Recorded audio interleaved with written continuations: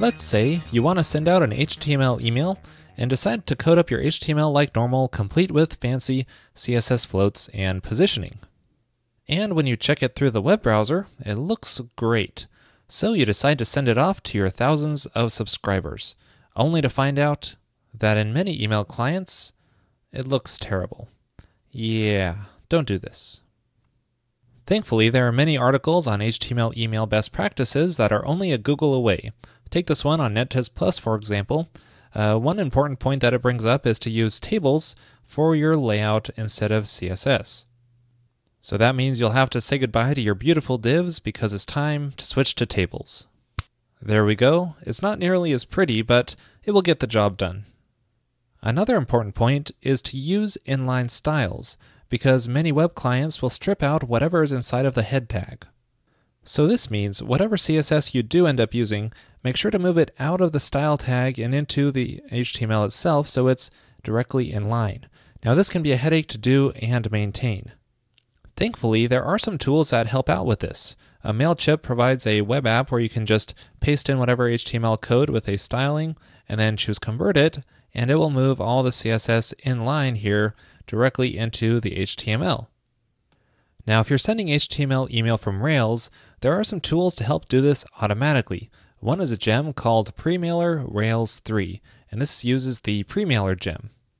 Another gem that will do this is Roadie, which is a fork of the MailStyle gem.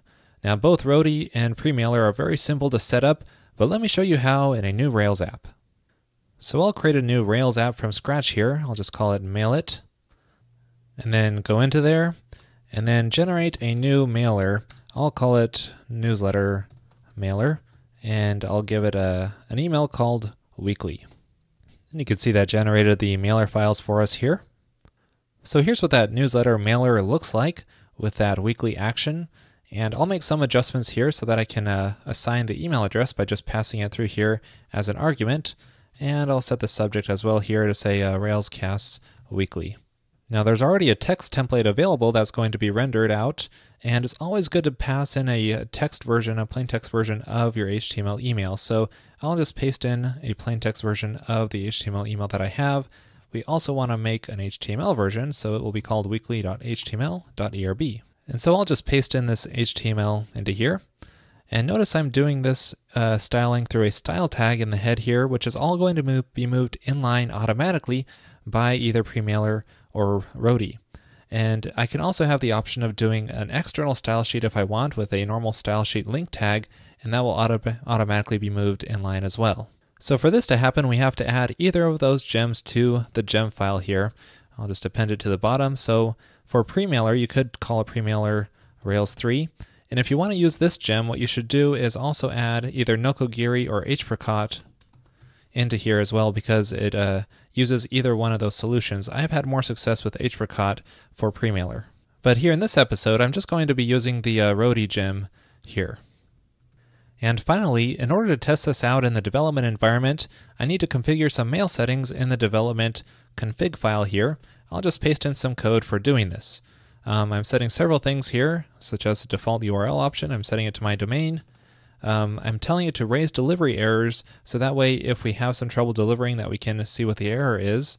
And I'm setting SMTP delivery and I'm using Gmail for the SMTP delivery here.